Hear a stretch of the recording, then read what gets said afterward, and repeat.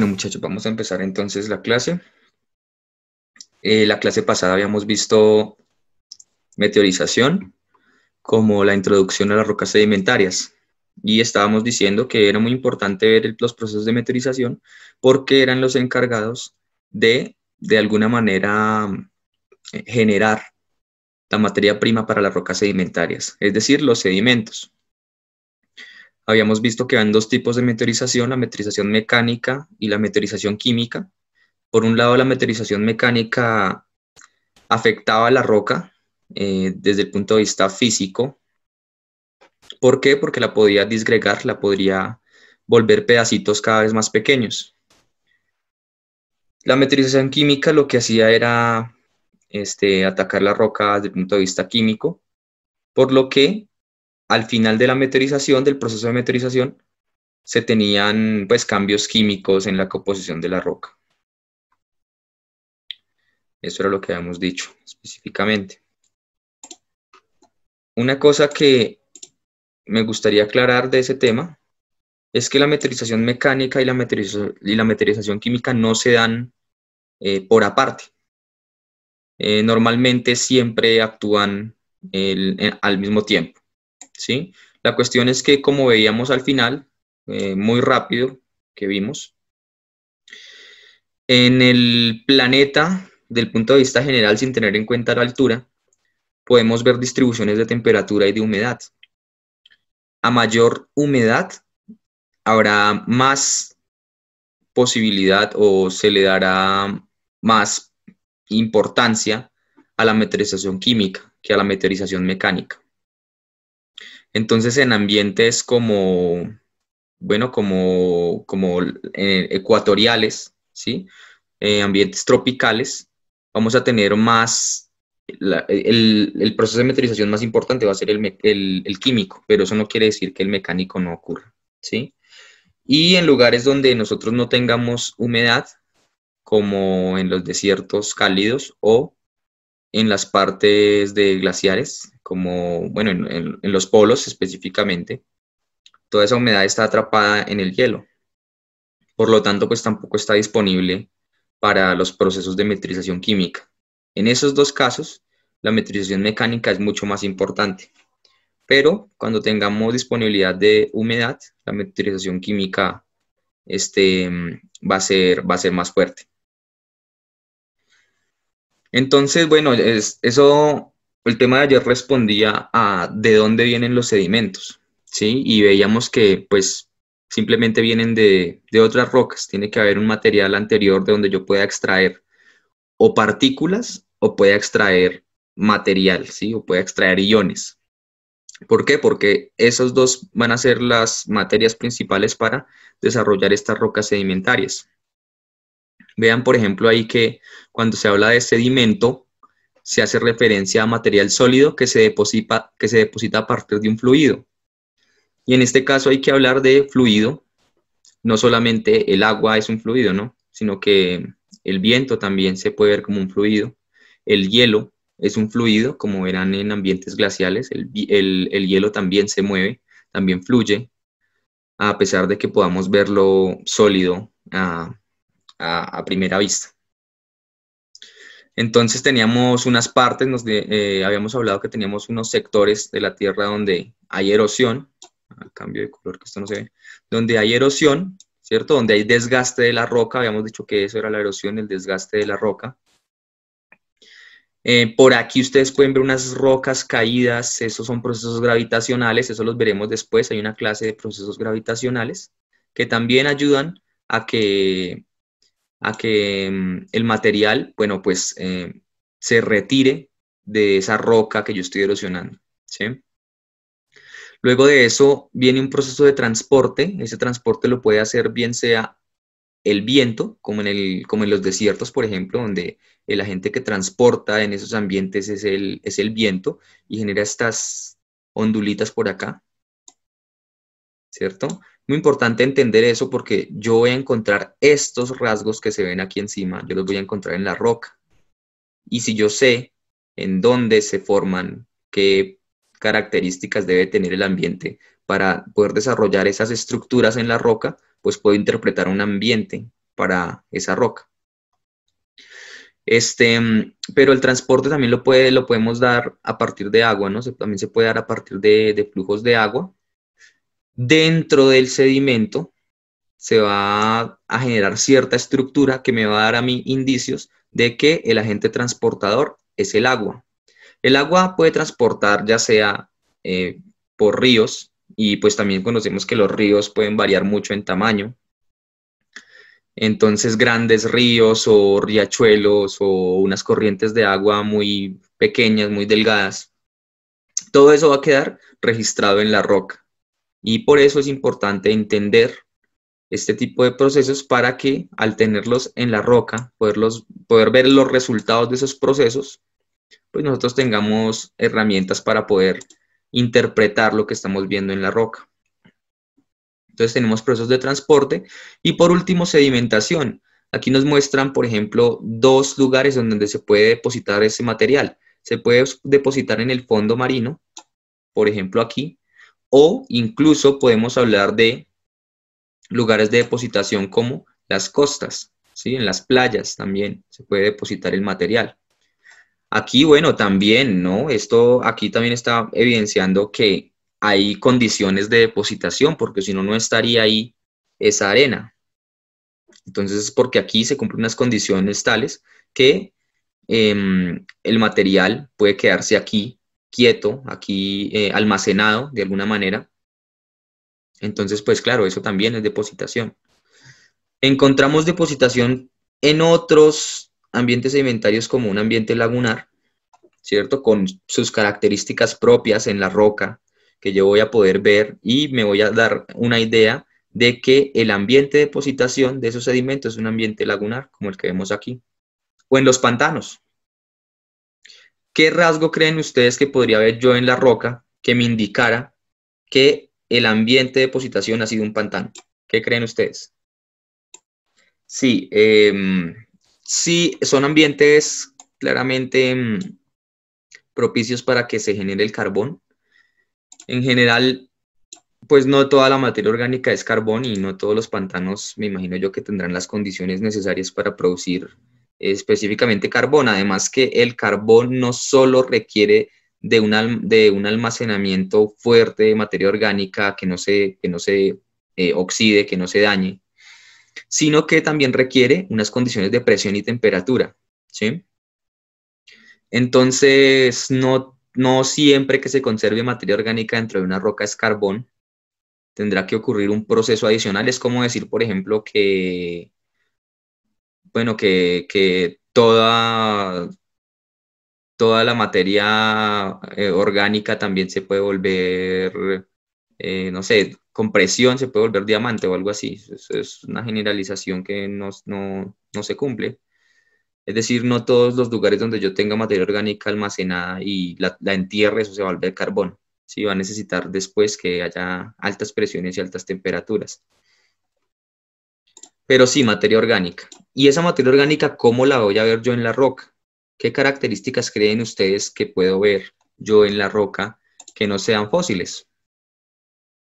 porque la materia orgánica no necesariamente eh, pues genera fósiles, o sino pues estaríamos plagados de fósiles en todos lados. La roca normalmente me muestra su contenido con su color, ¿sí? Entonces tendremos rocas, normalmente son negras, oscuras. Esa característica de la roca, el color, me puede decir a mí si tengo un enriquecimiento de materia orgánica o no. Es por eso que el carbón es negro. Eh, algunas rocas como mm, algunas arcillas, algunas arcillolitas son negras también. Por esa, pues es por eso, ¿no? Por, por, el, por el contenido de materia orgánica. Entonces no necesariamente tienen que ser fósiles, sino que la materia orgánica de alguna manera eh, deja su firma en la roca con el color de ella. El olor también. ¿sí? Normalmente, si uno se va, por ejemplo, para, para el Valle del Magdalena, habrán algunos afloramientos de rocas em, de grano fino, rocas oscuras, que si ustedes las huelen, huelen a hidrocarburo, ¿sí? Huelen a, a materia orgánica. Entonces, todas esas cosas, es decir, la roca no solo se ve sino que se debe sentir, se debe oler, ¿sí? Todas esas, eh, todas esas, todas esas cosas hacen parte de la observación. Cuando vayamos a campo, eso es lo que podemos hacer, ¿no? Ir a picar la roca, cuando la estemos picando, podemos hacer conclusiones de si la roca es dura, si la roca es blanda, ¿sí? Y eso nos va a decir eh, si ha sufrido procesos en la diagénesis, en la litificación, qué procesos ha sufrido, qué procesos no ha sufrido. Em, para ver la roca nos ayudamos pues de una lupa, normalmente de 10 aumentos hacia arriba. Este, pero todo eso con el ánimo de observar la roca, ¿sí? Entonces también la podemos oler, podemos en muchos casos probar la roca, por ejemplo, en la sal, ¿sí? La alita.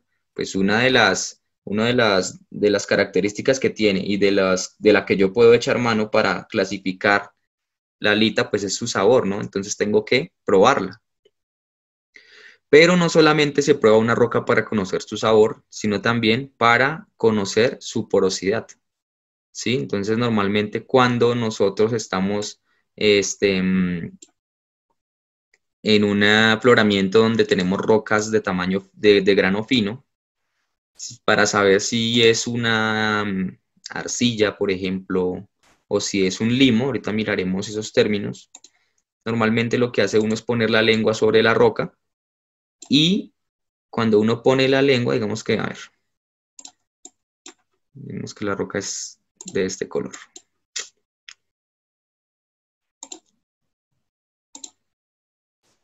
Entonces tenemos por acá la roca. Y ponemos la lengua ahí, sobre la roca la ponemos ahí. ¿Para qué? Porque ella va de alguna manera como a atraer la lengua, ¿sí? Como a succionar la lengua. Ahí se va, eso se siente. Y pues eso da algunas pistas acerca de su porosidad, ¿sí?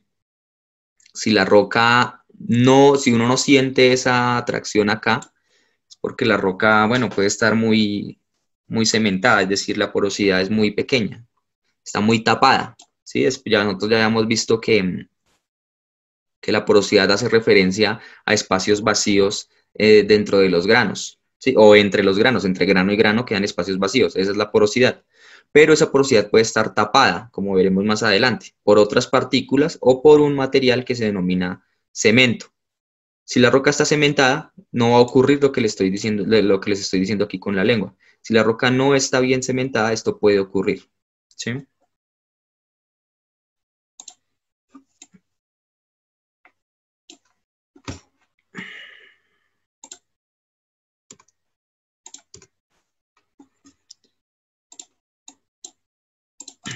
Entonces, las rocas sedimentarias son muy importantes porque son de los tipos de roca que más información nos pueden dar de las condiciones de superficie, ¿sí?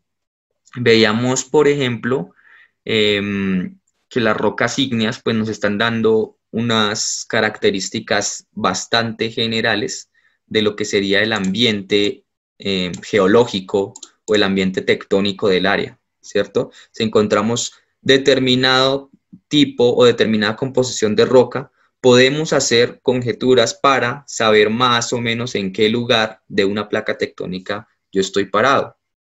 ¿Sí? Si tenemos entonces, por ejemplo, un basalto en algún lugar, pues ya podremos saber que, em, no sé, eh, estamos hablando o, estamos, eh, o ese basalto está relacionado, puede estar relacionado con corteza oceánica, o ese basalto puede estar relacionado con eh, puntos calientes, con hotspots.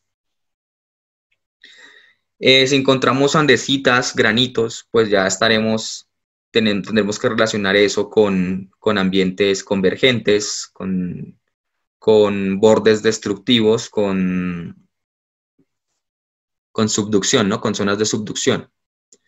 Sin embargo, ¿cómo puedo yo determinar la humedad, la temperatura de un lugar geográfico con rocas ígneas?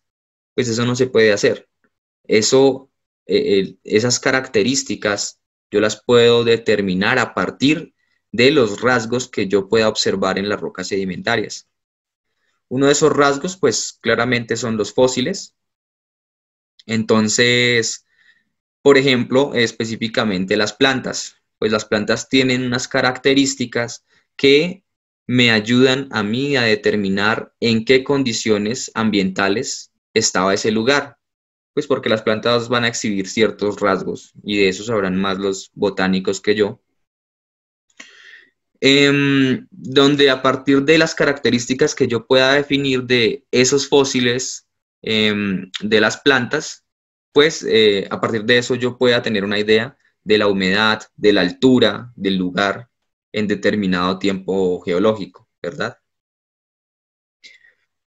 Eh, los animales, pues en este caso no creo que con un animal específicamente se pueda decir algo sobre, sobre clima, esperaría relacionar más el clima con plantas. Pero pues claramente eh, es claro que la importancia de las rocas sedimentarias para la conservación de fósiles este, de animales, ¿no? Ahí tenemos dinosaurios, tenemos reptiles marinos, eh, mamíferos, aves, etcétera, etcétera.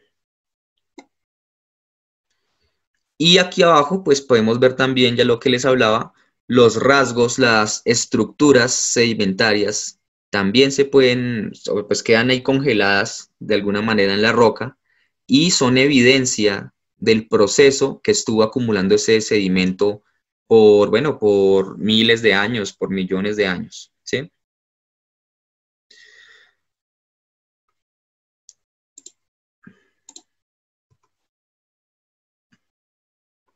También tiene una importancia económica.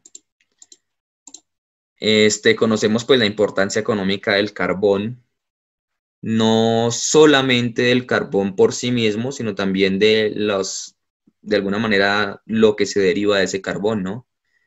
Este, la industria metalúrgica, por ejemplo, depende mucho del carbón. Tenemos cosas allí como utensilios del diario vivir, pues tal vez en este momento no, aunque claro, la cerámica necesita de arcilla, por ejemplo, que es lo que vemos en esta imagen arriba a la derecha, arcilla, que sirve para, bueno, los platos, otro tipo de cosas, para el cemento, Portland, también requerimos arcilla, que es una roca sedimentaria, el carbón es una roca sedimentaria, la sal es una roca sedimentaria, eh, pues continuamente, no, yo creo que no podemos, la gran mayoría de las personas no podríamos comer sin sal, ¿no? Entonces eh, es algo que parece sencillo, pero incluso en la antigüedad eh, habían economías pues basadas en, en sal, ¿no? Incluso aquí en Colombia. Y pues obviamente no podemos dejar atrás la importancia de las rocas sedimentarias como almacenes y también como generadores de hidrocarburos. Ahí podemos ver a grandes rasgos cómo sería el proceso de perforación de rocas sedimentarias hasta llegar a una roca que tenga almacenado hidrocarburo, como se ve allí. Las perforaciones pueden ser de kilómetros, ¿no? Tal vez no decenas de kilómetros, tal vez no lleguemos a, a esas profundidades, pero sí podríamos hablar de 5, mm, 7 kilómetros, 8 kilómetros, tal vez hasta 6 kilómetros. El pozo más profundo que se ha hecho tiene, si no estoy mal, 12 kilómetros. Y de ahí para allá, pues ya se experimentaron muchos problemas em, técnicos, por lo que ya no se podía perforar más profundo. Claro, ustedes pueden ver ahí que eh, con lo que acabo de decir hay una limitación en cuanto a que los recursos que nosotros podemos extraer de la roca tienen que estar a cierta profundidad. ¿sí? Eh, es decir, no podemos aprovechar cualquier recurso en la roca, sino solo el recurso que esté más, que esté técnicamente, bueno, que, que se pueda técnicamente extraer. ¿sí? Es decir, que si tenemos, no sé, si pudiera existir, yo no conozco el tema mucho, pero si tuviéramos petróleo más profundo de 10 kilómetros, pues allá se queda, ¿sí? Porque sería muy difícil extraerlo actualmente.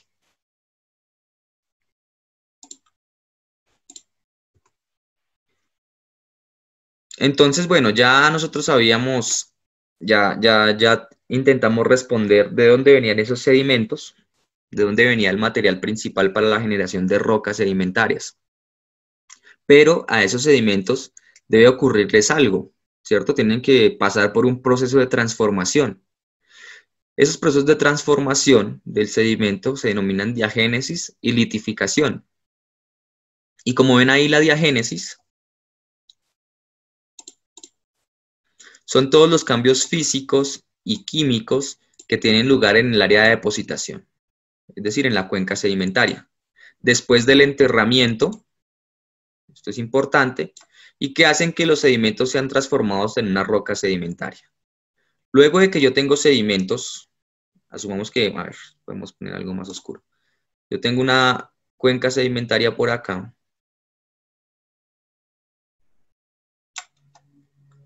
Este, entonces, pues claro, por aquí van a venir, va a venir material, de por aquí va a venir material y se va a empezar a acumular.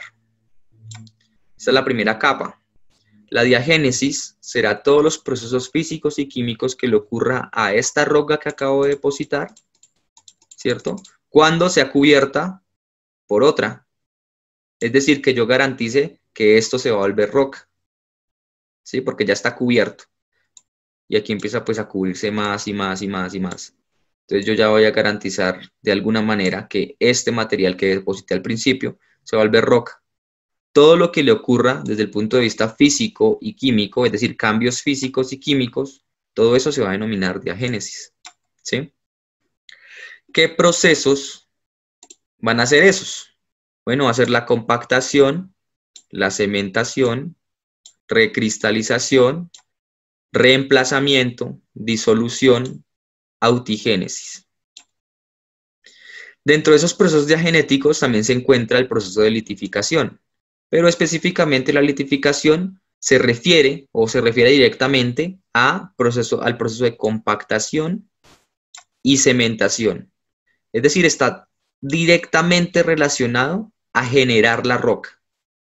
Más, mientras que estos que encuentro aquí no están directamente relacionados, o sea, indirectamente, pues claro, cambian la roca, pero em, digamos que no son pasos necesarios para que la roca se genere.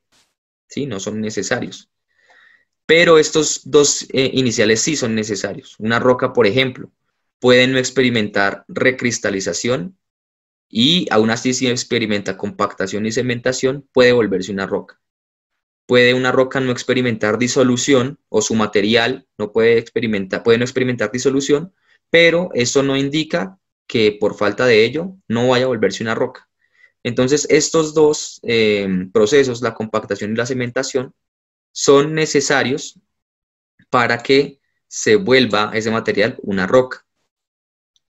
No necesariamente o no es estricto que todas las rocas eh, sufran este proceso de cementación, sino que con solo compactación eh, un material se puede volver roca.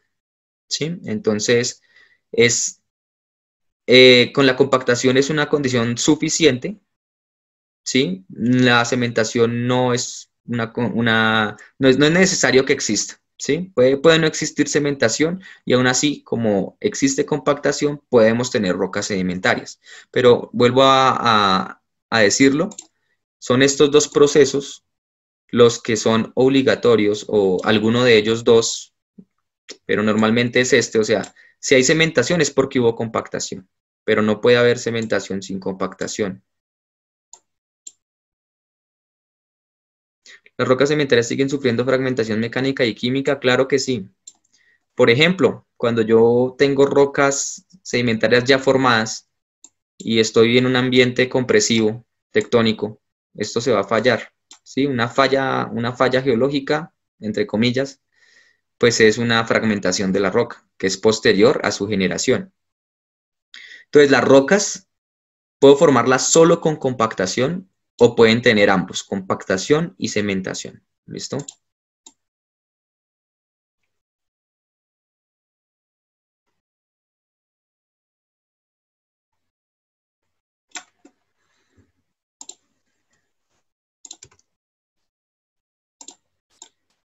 Entonces, ¿qué es la compactación? pues el nombre ya nos indica de qué se trata, ¿no? Tengo, por ejemplo, por aquí, específicamente esta roca, está depositada, ¿cierto? Y pues tiene un material encima, que hasta ahora es una capita, pero eh, con un fenómeno que se denomina subsidencia, que es cuando el área, la región como tal o la cuenca como tal se empieza como a profundizar, como a mover hacia abajo, ¿cierto? Generando más espacio por aquí arriba para que yo eh, deposite más sedimento, pues entonces esta unidad va a empezar a experimentar eso, compactación. Es decir, estos, eh, estos espacios entre grano y grano van a empezar a cerrarse. Y se van a cerrar pues por el peso de las siguientes capas que yo tengo por encima, ¿no? De estas dos capas. Como yo estoy aumentando el peso porque yo estoy cada vez depositando más y más material sobre esta unidad, entonces a lo que va a tender esa unidad es a que sus granos se vayan cada vez más acercando cada vez más y cerrando ese, ese espacio por aquí vacío, entre comillas, porque puede estar lleno de agua. Es más, está lleno de agua normalmente. O de algún fluido, em, por ejemplo, como, como, el aire, puede estar llenas de aire o de agua. Y con la compactación yo voy cada vez eliminando ese espacio libre por aquí, ¿sí? acercando cada vez más los granos de la roca. A eso se refiere específicamente la compactación. Habíamos hablado también de un, término denominado gradiente geotérmico. Y ese gradiente es una, un, incremento de la, un incremento de la temperatura con la profundidad, ¿no? Pues claro, si aquí estamos nosotros, este, mm, si estamos enterrando una roca, ¿cierto? La estamos cada vez llevando más a profundidad, pues no es raro que empecemos a aumentar la temperatura. Pero como tenemos más material, cada vez más material en la parte superior de la roca, pues que vamos a aumentar también la presión. ¿Sí? Reducción del volumen de la roca, pues claro, si estamos cerrando por aquí poros, la roca se va a hacer cada vez más compacta, cada vez entre, pues no entre comillas, pero puede ser cada vez más densa, y se va endureciendo de alguna manera. Eh, con esa reducción del espacio poral. Obviamente, si aquí tenemos agua, tenemos aire, cuando estamos compactando, empezamos a, si es agua, a deshidratar esa roca. el agua tiene que desplazarse hacia arriba o hacia los lados, ¿sí? A buscar lugares de menor presión. Y también existe una deformación por toda esa presión y la temperatura. Existe una deformación y reorientación de los granos.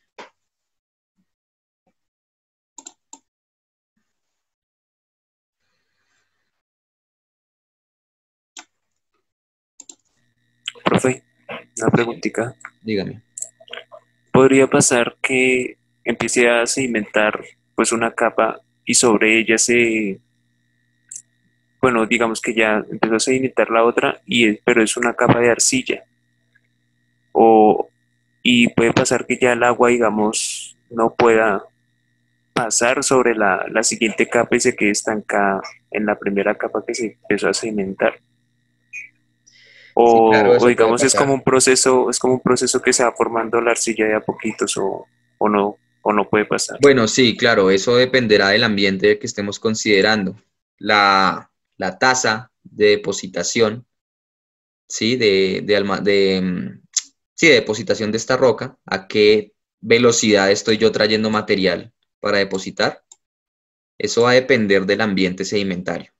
¿sí? Puedo traer muchísimo material, por ejemplo, eh, material que podría transportar el río Amazonas. ¿sí? Es muchísima carga sedimentaria que está llegando al final de, a la desembocadura de ese río y está depositándose rápidamente.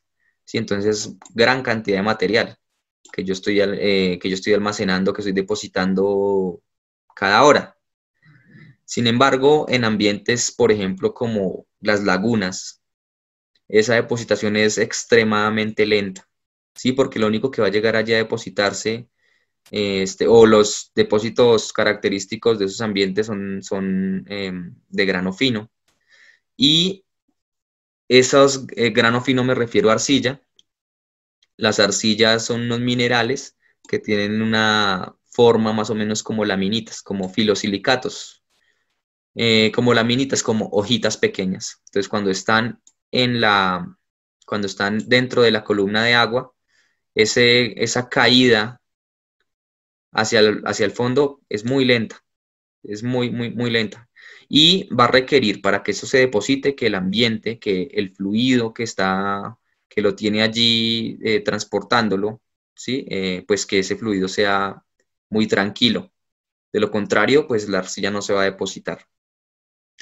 Entonces, la depositación de arcillas es, es, muy lenta, o por ejemplo, en los ambientes marinos profundos, pues también esa depositación es extremadamente lenta y por allí llega también el concepto de eh, una paraconformidad que habíamos hablado, ¿sí? que es una no depositación. Y esa no depositación eh, pues se da justamente porque las condiciones o no habían las condiciones de energía o no había el suficiente material para que en algún lugar algo se deposite. Entonces, pues en un, en un rango de tiempo, eh, en un lugar específico, no hay un registro de, pues, de ese rango de tiempo como roca, porque no se dieron las condiciones de depositación. Entonces, claro, esa tasa de depositación dependerá del ambiente sedimentario, pero normalmente primero se deposita una capa, el ambiente, las condiciones eh, tienen que cambiar de energía, por lo menos, deben cambiar las condiciones de energía del fluido que está trayendo el material para que después traiga material de otro tamaño y se pueda depositar ese material en ese lugar geográfico sobre el material de otro tamaño. Por ejemplo, asumamos algo muy, muy fácil. Tenemos aquí una cuenca sedimentaria que está siendo alimentada por un río. ¿Listo? estamos en la temporada de lluvias. Entonces ese río está trayendo este material. Este material, olvidémonos, no nos importa qué, son las dos capas inferiores, sino este material. Entonces el río pues está en temporada de lluvias, está el, agua viene pues con mucha energía, el caudal es muy alto. Entonces la velocidad del río puede transportar piedras grandísimas. Piedras, piedras muy grandes, como el tamaño de nuestras manos, por ejemplo. Y cuando llega a este punto, ya el agua pierde esa energía que trae y no puede transportar ese material, por lo tanto ahí se deposita. Pero sigue siendo pues muy energética, esa agua tiene mucha energía. Posteriormente, bueno, de los seis meses, entonces llega la temporada seca, ya casi no hay lluvias, entonces ese mismo río pues ya no puede transportar, ya no tiene la misma energía por lo tanto, las rocas más grandes, pues ya las dejó depositadas en otro lado. Y cuando llega aquí, ya no tiene, o sea, ya no tiene, en este punto geográfico, ya no tiene la energía suficiente como para traer esas rocas así de grandes. Sin embargo, el agua sigue corriendo por este lugar geográfico eh, con una menor energía y hasta aquí ahora llegan partículas más pequeñas, como una lenteja de grandes. ¿sí? Entonces, cuando el río ya llega a este punto, ya no puede transportar, pierde la energía suficiente como para ya no poder transportar esas, eh, esas piedritas tamaño lenteja y entonces nos las deposita aquí. ¿Sí? Entonces ya tenemos dos capas, una de unas piedras grandes del tamaño de nuestras manos y otra capa del tamaño de lentejitas. Si el río sigue perdiendo energía, es decir, hace ya muchos días que no llueve, Em, entonces, la, entonces mm, ese flujo del río cada vez va siendo más, menor, el caudal va siendo menor, menor, menor. Entonces, pues ya lo que en algún momento va a llegar a este sitio, solo un pequeño riachuelo, una quebradita, una, mm, un hilito de agua, que apenas iba a poder traer este mm, material del tamaño de la sal. ¿Sí? Entonces, en este punto, ya el, agua pierde la energía suficiente como para tener que depositar esa roca tamaño, tamaño sal y entonces la deposita acá. vamos a ver entonces que en la parte baja teníamos rocas grandes del tamaño de nuestras manos. Luego depositamos lentejitas por acá. Y por último, depositamos eh, partículas del tamaño de la sal. Esto se llama grano de crecimiento. ¿sí? Y si ustedes se dan cuenta, y yo puedo analizar cómo cambia el tamaño de, las, de los clastos en la roca, pues puedo hacer unas, em, puedo concluir acerca de cómo varió la energía del fluido que traía los sedimentos a esta cuenca sedimentaria. ¿sí? Entonces, claro, puedo tener aquí una unidad que es de grano fino, como una arcilla, en términos de roca, una arcillolita, y tener una roca que puede conservar agua en la parte baja. Este, hay una clase sobre, sobre hidrogeología, donde van a ver esto con más detalle, y pues vamos, ya van a hablar de lo que serían este, acuíferos, ¿no? Que pues tienen estas características específicas y además de otras, además de otras, por ejemplo, esta roca necesitará algunos lugares de recarga, pero pues eso pues no es tema de, de esta clase, pero más o menos por ahí va, eso lo van a ver con Daniel. Sí, entonces sí, claro, es posible tener ese tipo de depositación.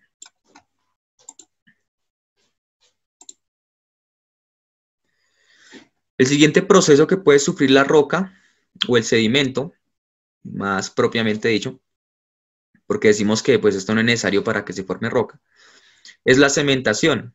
Ya habíamos hablado que con la, mm, con la meteorización química ese proceso era muy importante, específicamente el proceso, si se acuerdan de la formulita de eh, la meteorización del feldespato, ¿cierto? Que al final nos daba como productos unos, específicamente el que nos importaba en este caso era el, sílice. Y ese sílice venía disuelto en el agua, ¿sí? Entonces está viajando por el agua. Esa cementación se da cuando eh, por la roca está fluyendo un, pues puede ser agua, no, en general es agua, y esa, esa agua está enriquecida en algún elemento o en algunos iones. Eh, llega hasta el punto de, se, sobresatura, tiene que precipitar ese material, ese contenido en algún lado. De ser sílice, lo va a precipitar ¿dónde? Pues en los lugares donde sea posible, es decir, en los espacios donde no hay material eh, sedimentario, donde no hay clastos, ¿sí? Lo va a depositar en esos espacios vacíos y este, eso es lo que se va a considerar cemento. El cemento no, no, simplemente es sílice, sino que también podemos tener cemento dolomítico, podemos tener cemento calcáreo eh, de, calcita, eh, podemos tener, ya decíamos, cemento silicio, podemos tener como cemento también óxidos de hierro, eh, o podemos tener, pues, esto es otro carbonato, siderita. El cemento es bastante importante porque dependiendo del tipo de cemento, pues la roca va a tener una dureza em, específica, va a tener una, ¿cómo decirlo? Porque dureza se refiere en algunas, digamos, de alguna manera se refiere a que un material no sea rayado, pero aquí me refiero a la dureza coloquial, ¿sí? A que no podemos romper algo. A eso me refiero con la dureza que estamos hablando aquí. Entonces, dependiendo del cemento, la roca va a ser más fácil de romper o menos fácil de romper. Por ejemplo, si tenemos un cemento, el más duro, que es el cemento silicio, pues si una roca está, está cementada con, con sílice, esa roca va a ser extremadamente dura, muy, muy, muy, muy dura. Eh, habrá el caso contrario en donde una roca no tenga cemento, ¿sí? También existe. Por lo tanto, esa roca va a ser una que yo no necesite con un martillo pegarle para poderla desmoronar, sino que solo con la mano la voy a poder desmoronar. Eso pues me da indicios de que la roca no está cementada. cemento normalmente no se puede ver, eh, bueno, sí se puede ver, dependiendo del tamaño de la roca, podría verse si, una, si esa roca está cementada o no. ¿Por qué? Pues porque yo voy a ver los granos de esa roca con una lupa y voy a ver si entre grano y grano hay algo. ¿Sí? Si yo puedo hacer una diferenciación clara entre los granos, digo, no, pues esto no tiene cemento. Em, este qué, y pues también habrán unos cementos más duros que otros. Claro, el cemento calcáreo también es duro, es durísimo. específicamente estos dos, estos dos tipos de cemento, sílice y, cemento calcáreo como calcita, son extremadamente duros. Y un cemento que puede ser blando puede ser los, cementos de, de óxidos de hierro.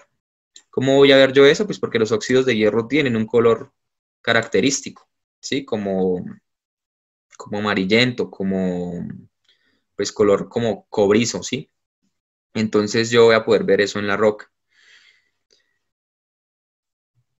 Esa, eso, esta cementación se da por precipitación de minerales en los espacios vacíos, como ya habíamos dicho. Rellenan el espacio poral em, y esos poros pueden ser de origen primario o de origen secundario. El origen primario se refiere a si yo en la depositación del material al inicio de la historia de esta roca, cuando estoy hasta ahora depositando ese material en una cuenca sedimentaria, si esos poros ya quedaron ahí. ¿Sí? Por ejemplo, una, una porosidad primaria puede ser el espacio que quedan entre estos granos. ¿sí? Todo, toda esta porosidad que vemos aquí podría considerarse primaria. Sin embargo, puede haber porosidad secundaria, como veremos más adelante, y esa porosidad secundaria la dan, por ejemplo, procesos de disolución. Asumamos que este granito que tenemos aquí es un granito que se puede, granito, pues grano, ¿no? No, roca ígnea. Este grano eh, composicionalmente se puede disolver, ¿sí? Digamos que es calcáreo. Entonces, cuando llegue un fluido que pueda disolverlo, va a empezar a corroer los bordes de ese grano. Ese proceso de disolución es lo que va a generar la porosidad secundaria, ¿sí? Que puede ser por disolución. O cuando yo ya tengo la roca generada, vienen por aquí procesos tectónicos a hacer de las suyas y rompen por aquí la roca, la rompen por, por varios lados. Entonces, pues eso también genera una porosidad, pero al ser posterior a la depositación y, y sí, a la depositación, por ser posterior a la depositación del material, pues vamos a hablar de porosidad secundaria en la roca. Normalmente, pues ese tipo de cosas no se dicen en un curso tan básico, pero, pero bueno, la idea es que vayamos conociendo, así sea de manera muy general, algunos términos.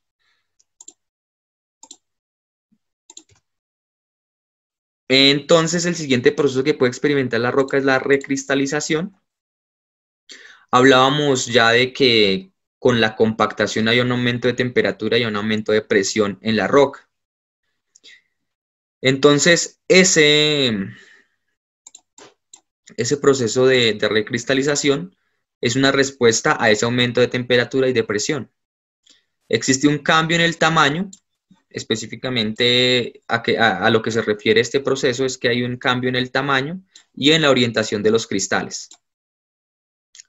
Normalmente o no necesariamente hay, una, hay un cambio composicional de la roca, pero si hay un cambio mineralógico, puede existir un cambio mineralógico. Mm, ¿Por qué?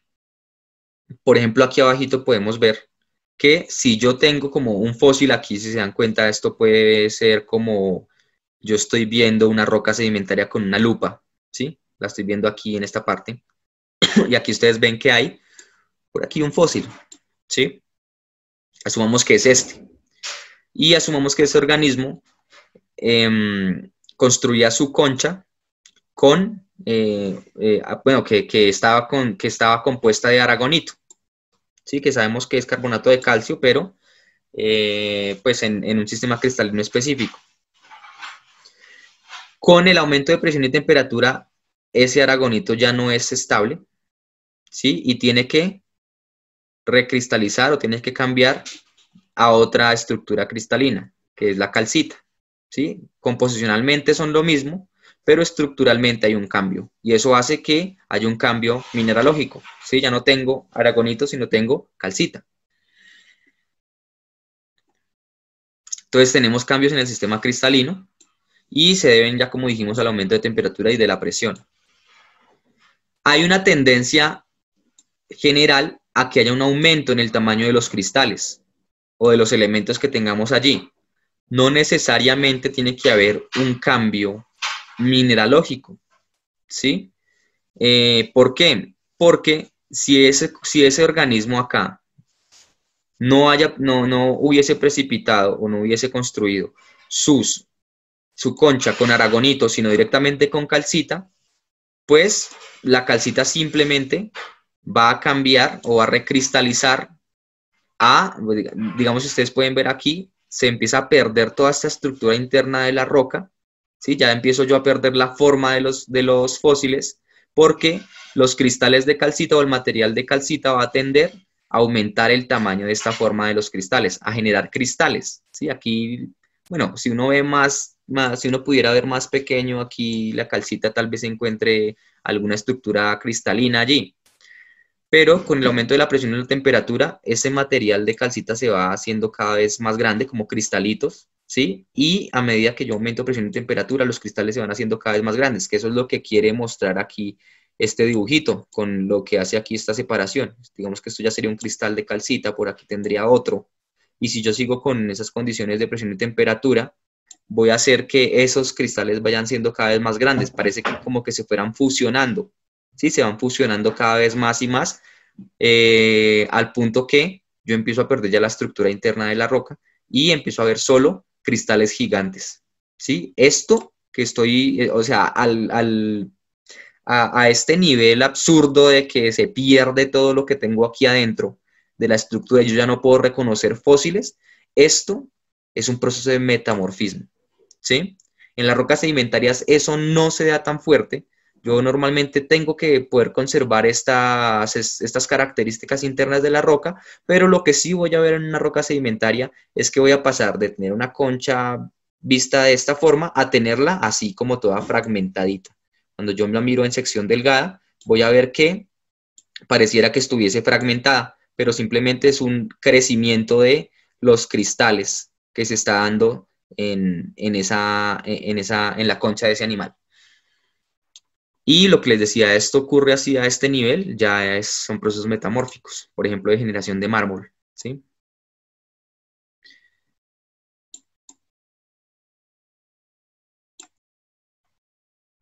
El cemento está compuesto de granos muy pequeños. Mm, no son granos. No, no, no, no necesariamente, o sea, no, no son granos propiamente. Son como, podríamos decirlo que, pues como les decía, eso viene disuelto en agua. ¿sí? Entonces, no, si yo veo el agua, pues no, no lo voy a ver, como si tuviéramos sal en agua, ¿sí? Yo no la veo cuando está disuelta, no la puedo ver en el agua, pero si disminuyo, si pongo a hervir esa agua y sobresaturo ese líquido, pues la sal ahí sí va a empezar otra vez a depositarse. Eso es lo que ocurre acá.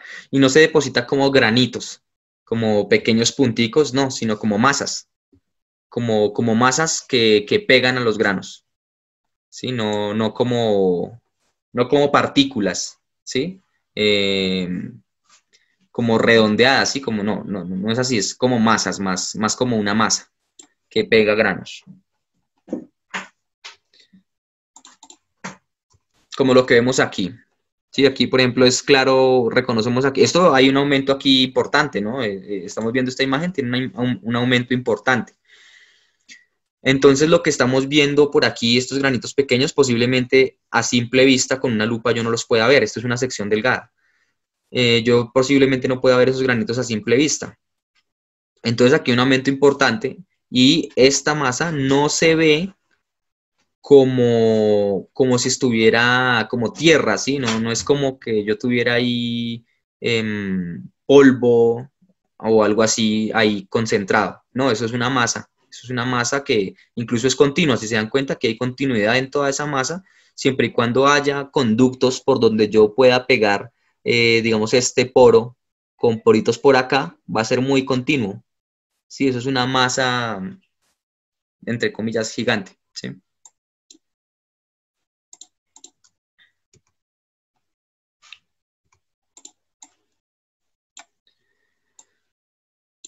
Este, Reemplazamiento es otro proceso que se puede dar. Miren esta cosa tan espectacular que hay acá.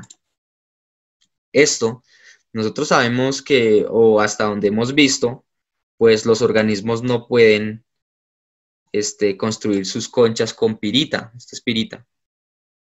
¿Sí? Entonces, pues sabemos que normalmente un organismo como, como una monita genera su, su, concha con carbonato de calcio. Entonces, ¿qué pasó aquí? ¿Sí? Por ejemplo, aquí también este gastrópodo, que asumamos que podía generar su concha con carbonato de calcio, entonces porque ahora hay berilo. Sí, la, aquí está la composición del berilo, es un silicato también. Por aquí tenemos berilio. Entonces, bueno, ¿qué pasó aquí? ¿Sí? ¿Qué pasó con esto? La madera, esto, esto es un silópalo, es madera fósil. Bueno, y, cuando lo encontramos, bueno, eh, la composición es, es sílice. ¿Será que la madera está compuesta de sílice? No, porque es, una, pues es, un, es un compuesto orgánico. Entonces, ¿qué pasó ahí? ¿Sí? A eso se refiere el reemplazamiento. Eso, esto nos demuestra que ha habido un reemplazamiento allí. Y ese reemplazamiento es un proceso que se puede ver como una disolución y un reemplazamiento casi simultáneo. Reemplazamiento, el término que todos manejamos, ¿sí? cambiar una cosa por otra. En este caso estamos cambiando eh, minerales, ¿sí? Eh, disolvemos un mineral y rápidamente reemplazamos o rellenamos ese lugar que disolvimos con otro mineral. Ese proceso de, de disolución y reemplazamiento es tan rápido que hay una conservación en la forma de la estructura que se reemplaza. Sí, es por eso que nosotros podemos ver es la estructura inicial de lo que eh, pues anteriormente era, ¿no? De antes de ese reemplazamiento, qué estructura tenía. Entonces lo que normalmente se reemplaza son las estructuras hechas de minerales solubles o material orgánico. Esto es mineral soluble, esto era mineral soluble y pues aquí teníamos material orgánico, ¿no? Es lo que se puede reemplazar. En la clase de paleontología van a ver un poco más en detalle este reemplazamiento eh, a nivel mineralógico cómo se da, ¿sí? que es muy importante en la parte de tafonomía, de conservación de, de fósiles.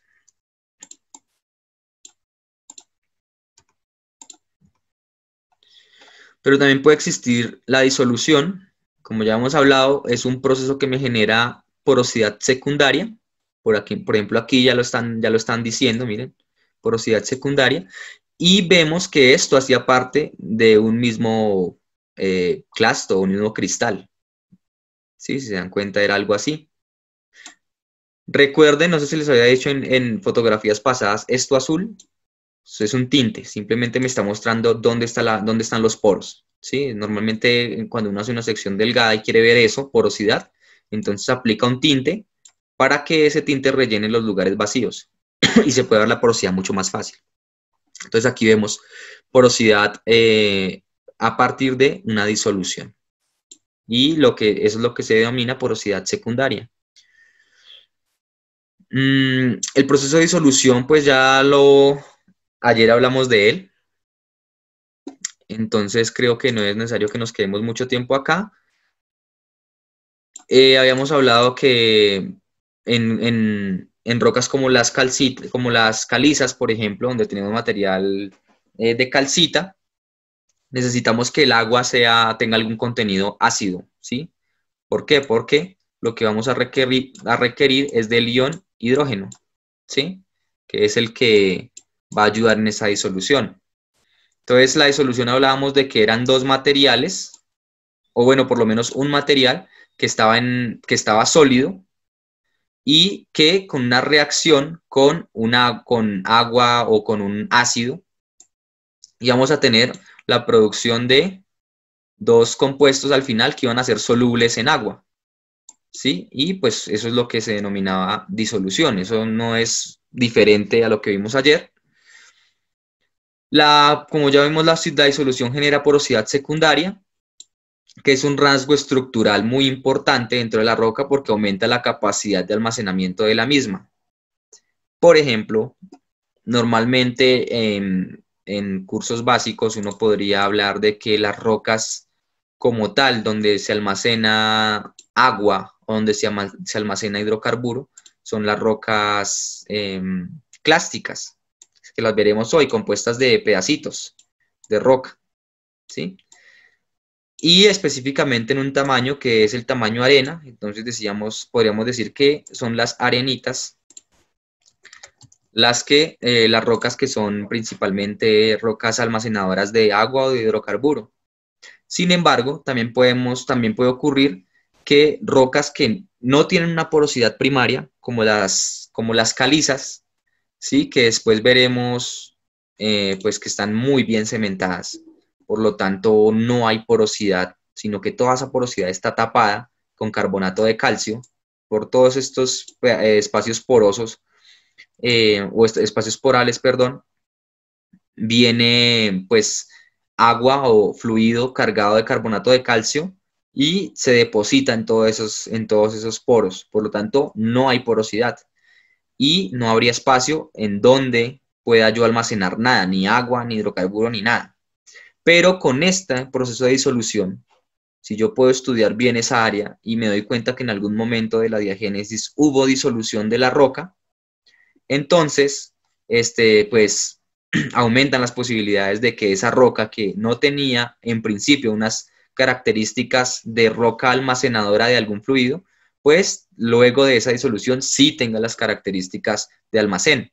¿Por qué? Por desarrollo de porosidad secundaria.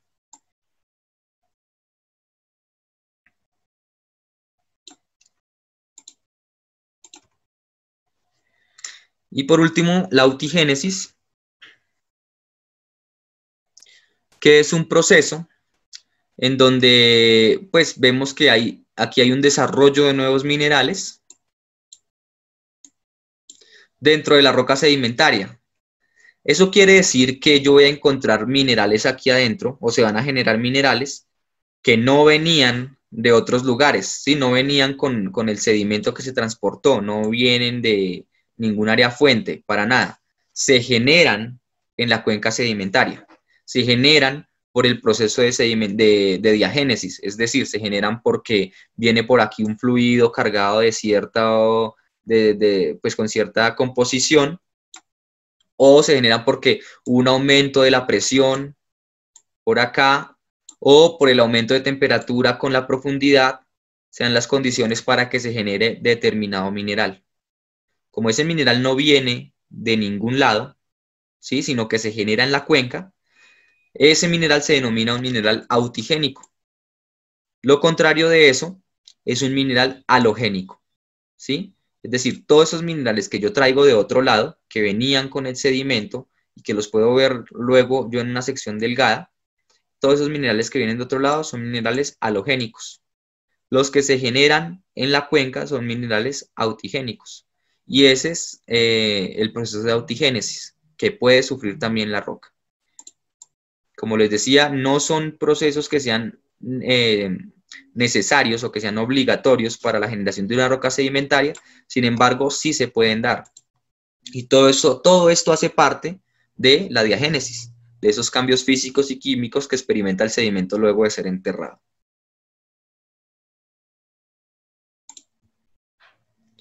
Entonces, ahora sí, conociendo un poco de la historia de cómo se genera una roca, ¿cierto? Vamos a hablar ahora sí de específicamente de rocas, de clasificación de rocas.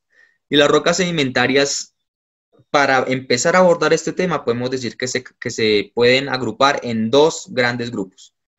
El primer grupo son las rocas clásticas y el segundo gran grupo son las rocas químicas. Podríamos decir en términos muy generales que las rocas clásticas son las rocas que se generan a partir de la meteorización mecánica, ¿sí? ¿Qué hacía la meteorización mecánica?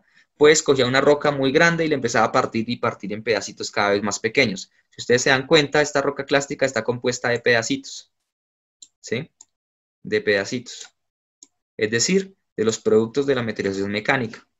Por otro lado, tenemos las rocas químicas, que son principalmente el producto de la meteorización química.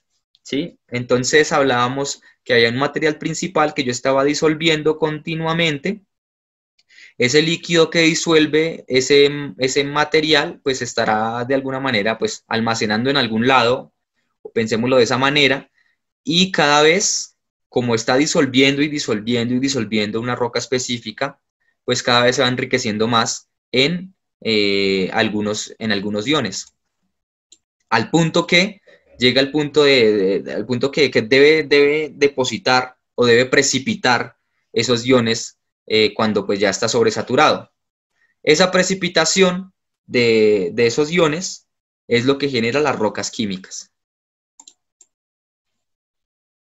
Hoy vamos a hablar específicamente de las rocas clásticas y la siguiente clase hablaremos de las rocas químicas.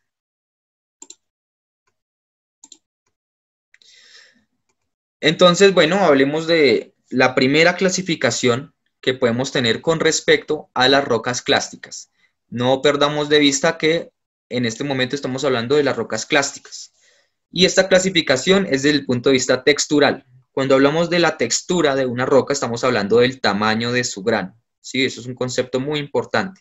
Tienen que tenerlo claro. La textura de la roca hace referencia al tamaño de grano de, de esa roca.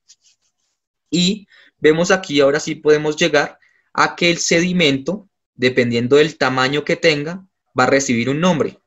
Por ejemplo, si aquí vemos, eh, estamos viendo milímetros, ¿sí? Entonces, un sedimento que tenga menos de 1 sobre 256 avos de milímetro se denominará una arcilla, ¿sí? Este, aquí pues también podemos ver rangos desde 1 sobre 256 hasta 1 sobre 16 milímetros, se denominará limo. Entre 1 sobre 16 a 2 milímetros, denominaremos eso arena. Hasta ahora estamos hablando de material suelto, ¿no? Por eso esto es sedimento, todavía no es roca. Entre 2 milímetros y hacia arriba, en general, podemos definir eso como una grava. ¿Sí? Ustedes ven aquí que pues hay más subdivisiones este, y no son las únicas. Aquí también podemos hablar de arena muy fina, arena fina, arena media, arena gruesa, arena muy gruesa. También tienen sus, sus rangos de tamaño. Aquí podemos hablar de guijarros, de guijos, de cantos, de bloques. Es decir, también hay otra subdivisión más fina de esto. Pero recordemos que estamos hablando de un nivel básico, ¿no? Entonces quedémonos con lo que vemos aquí. Esa grava se puede diferenciar en tamaños eh, bloques, cuando está entre 64, bueno, de, 64 milímetros hacia arriba, eso ya podría denominarse un bloque, y entre 2 milímetros a 64 milímetros denominaremos eso cantos. ¿Ok? Esto en cuanto al sedimento. Cuando ya la roca, cuando ya este sedimento eh, se litifica, es decir, se compacta y sufre cementación, o bueno, sufre solo compactación, dependerá.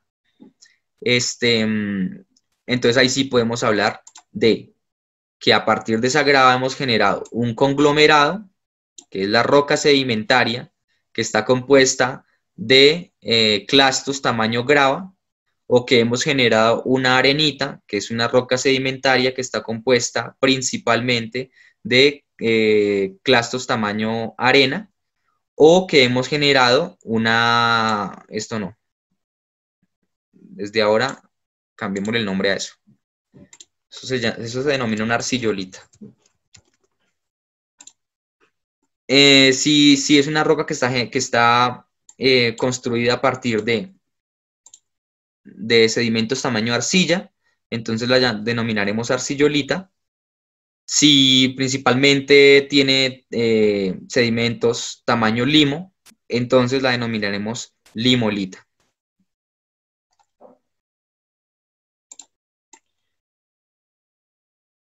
Recuerden, es arcillolita, ¿no? Lo que pasa es que pues aquí utilizamos, aquí este libro es eh, de, como español, de España, entonces se utiliza ese, ese término de lutita pero realmente el término correcto es arcillolita. Entonces veamos, ¿qué es una arcillolita? Ya hemos visto por allí que se denominaba una arcillolita a una roca sedimentaria que está compuesta principalmente de eh, sedimentos tamaño arcilla. ¿cierto? Lo podemos ver aquí. Ya estamos hablando desde, esto no lo saqué del libro, sino les voy a decir más o menos algunas características importantes en campo. Entonces, ¿qué voy a encontrar yo en la roca arcillolita en campo? Voy a encontrar primero que la puedo, puedo tener dos tipos como de dureza, pero de la dureza que les había dicho, ¿no? De, esa capacidad de, de, resistirse a que yo la aparta, ¿sí? A esa dureza. Entonces pueden haber arcillolitas que sean muy blandas o que sean muy duras, ¿sí? Y eso se referirá a si tiene, si, fue cementada, si, tiene cemento o no lo tiene. Si lo tiene, va a ser muy dura. Si no lo tiene, va a ser muy blandita. Eh, ese blandito tiene un término que se denomina Normalmente se utiliza con, con arenas. Si yo puedo coger la arena y, la puedo como dañar, ¿sí? la puedo volver otra vez sedimento con la mano, solo con la mano. Entonces diremos que esa es una arenita friable. ¿Sí? Entonces las arcillolitas pueden ser muy duras o pueden ser blandas. Normalmente uno encontrará en esas arcillolitas algún tipo de estructura laminar, ¿sí? Como laminitas uno va a ver dentro de, dentro de la arcilla, no siempre, pero posiblemente las puede ver en algún momento. En estas caras así aplanadas puede ver algo así como laminitas delgadas, o puede que no las vea. Si yo cogiese una lupa de 10 aumentos, una lupa digamos, normal en, un campo básico, ¿sí? No, es decir, no, un microscopio, porque pues no, eh, eso no, aplicaría muy bien acá, aunque en un microscopio tampoco se puede ver mucho. Pero si hubiera una, o si cogiera una lupa y la pusiera por aquí y acercara ahí mi ojo, yo no vería granos, quedaría todavía, todavía, todavía no podría ver los granos así a simple vista, solo con una lupa. ¿sí? No podrían verse. Las arcillolitas pueden tener muchos colores y el color pues me hablará de, puede ser de su cemento, por ejemplo, o de su enriquecimiento. Si tengo una arcillolita de colores amarillentos, eh, cobrizos, pues ya sabré que tiene un contenido de hierro. Si la arcillolita es, por otro lado, oscura, eh, pues ya sabemos que esos colores oscuros me están dando indicios de que tiene un contenido de materia orgánica importante. Em, por otro lado tenemos, ah bueno, aquí recordándoles que el término de lutita en cuanto a geología como ciencia, el término de lutita es obsoleto y solo se usa eh, en términos ingenieriles, ¿sí? Se hablará de lutita, este tipo de rocas. Em, por otro lado tenemos las arenitas, o las areniscas, pueden encontrar esa roca en la bibliografía citada de esas dos maneras, como arenita o como arenisca. Yo prefiero el término arenita. ¿Sí? Qué pena una pregunta, es que su merced respecto a la dureza de la roca, dijo el término friable para referirse a blando y para referirse a que es dura, o sea, para la rotura, ¿cómo sería el término? Ah, para dura se dice mm, es em, competente. Gracias. Sí, competente y friable. Sí, cuando una roca es dura, muy dura, hablamos de la competencia de la roca. Cuando hablamos de, lo blando de la roca, pues decimos que es friable. Pero como les digo, em, bueno, competente se puede aplicar también, podría aplicarse arcillolitas, pero el término friable, sí es más aplicable a, arenitas. Esperen a ver si puedo hacer algo por aquí. ¿Cómo hago esto? A ver. ¿Sí pueden ver ese acercamiento que acabé de hacer? Sí. Listo. Entonces vean por aquí que tenemos un acercamiento a una roca, a una arenita. Y en este, en este caso sí pueden ver los granos. Este acercamiento que se está haciendo acá es con una lupa también. Eso es lo que vamos a ver eh, cuando veamos la roca con una lupa. Aunque en muchas arenitas, a simple vista, sin ninguna lupa, podemos ver los granitos, podemos hacer la, distinción entre un grano y otro, ¿sí? Eso se va a poder ver en algunos casos, por ejemplo, cuando el tamaño de esta roca eh, es eh, arenita gruesa, ¿sí? En esos tamaños de arenita ya, ya grandes, podemos ver, es posible que podamos ver los granos a simple vista. Sin embargo, si estamos hablando de una arenita media o una arenita fina, necesitaremos la ayuda de una lupa. Cuando vemos en una lupa, esto es lo que vamos a encontrar. ¿Sí? Que podemos ver unos granitos. Em, por ejemplo, por aquí. Ustedes ven un granito. ojalá otro color. Por aquí ven un granito. ¿Sí? Por aquí ven otro granito de otro color. Eh, entonces, por aquí ya empezamos a ver, a, poder reconocer qué tipo de minerales está, está de qué tipo de minerales está compuesta la roca. Por ejemplo, vemos aquí unos oscuritos, ¿sí? Eso será un mineral. Y aquí estos como, como vítreos, eso pues es cuarzo. Pero es otro mineral, ¿sí? Entonces por aquí tenemos un mineral, por acá tenemos otro mineral. Y a partir de esos minerales podemos hacer una clasificación. Luego, luego, podemos, podremos hacer una clasificación composicional de esa arena, ¿sí? Recordemos que esta, esta, esta visión que les estoy dando de em, inicial es, es la manera de clasificar las rocas desde el punto de vista textural, desde el punto de vista de su tamaño de grano. ¿sí? Luego veremos el punto de vista composicional.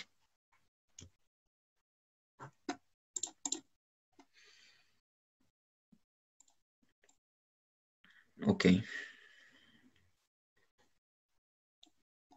Entonces, pues no, no es para nada extraño la, definición que vamos a dar, ¿no? Una arenita se forma de clastos, tamaño arena principalmente. Y ese principalmente es muy importante, porque no quiere decir que yo voy a tener en todas las arenitas solo granos tamaño arena, sino que también puedo tener allí metidos em, clastos de tamaño arcilla, por ejemplo. Sí, ahí metidos. O de tamaño limo, también ahí. Sí, pero que principalmente desde el punto de vista de la cantidad, que la, que la mayor cantidad de granos sean de tamaño arena, pues eso ya se denominará una arenita. ¿sí? Aquí hay los matices que ustedes quieran. Esto puede también denominarse mm, arenita lodosa, eh, arenita arcillosa, arenita limosa, ¿sí? Es por eso que les digo que para que sea arenita tiene que tener principalmente arena, pero puede tener otros tamaños, ¿sí? Incluso, incluso pueden existir las arenitas conglomeráticas. ¿Qué son arenitas?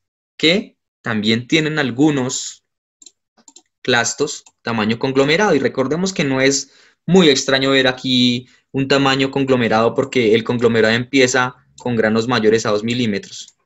¿Sí? Entonces, si yo tengo una cantidad, obviamente una cantidad apreciable, ¿no? Yo no le voy a decir a esto eh, arenita conglomerática solo porque yo la encuentre por aquí, me haya durado unos cuatro días buscando y midiendo granos y me di cuenta que por aquí hay uno que tiene 2 milímetros y ya porque ese grano existe, entonces yo le voy a llamar esto una arenita conglomerática. No, sino que tengo que ser, tiene que ser apreciable que hay una cantidad de, granos de ese tamaño para que yo diga, bueno, esto eh, este tamaño de grano no es el principal, pero es importante. De alguna manera tengo que hacer ver eso en el nombre que le voy a dar a la roca. ¿sí? Entonces, ¿cómo hago notar eso? Pues eh, poniéndole un apellido a la roca. Arenita conglomerática, arenita lodosa, arenita arcillosa. Pasa lo contrario, ¿no? También puedo tener una lodolita, eh, no sé, arenítica o una arcillolita limosa, o una limolita arcillosa, todo ese tipo de cosas eh, tienen lugar acá. ¿Cómo se va a definir eso? Obviamente a punta, de, a punta de lupa eso no se puede hacer. Para eso ya necesitamos microscopios y necesitamos hacer un conteo. Entonces lo que se hace es hacer una sección delgada. Una sección delgada simplemente escoger una partecita de esta roca, digamos que de esta. Una partecita de esa roca. La voy a, a poner en un vidrio de los de microscopio, no sé cómo se llaman. Y eh, este voy a poner por aquí un pedacito de, a ver, cambiamos el color. Voy a poner por aquí un pedacito de roca. Digamos que la puede cortar así. Y le puede dar una forma a la base, una forma plana para poderla pegar al vidrio, ¿no? Em, a partir de por aquí lijar y lijar y lijar esta parte, voy a empezar a desgastar la roca poco a poco, la voy desgastando hasta que llegue a una, que sea muy delgada, muy, muy delgada ya esa roca ahí. Em, tratamos de hacer el dibujito lo mejor posible. Entonces ya tenemos por aquí el vidriecito para el microscopio. Y la roca sigue ahí, pero ya está muy rebajada. Sí, ya casi que si, si uno la ve con, sin lupa ni nada, si uno, la, si la tuviera en la mano esta muestra, prácticamente puede ver de lado a lado. Sí, pero ahí se ve un, un, poquito más grisáceo por acá. Eh, se ve un poquito más grisáceo hacia el otro lado pues, y eso pues me, me, me, estaría mostrando que todavía ahí queda algo, una película muy delgada de esta roca, sea de esta o de esta, cualquiera, una roca ígnea también se le puede hacer sección delgada, una roca metamórfica, a todas las rocas.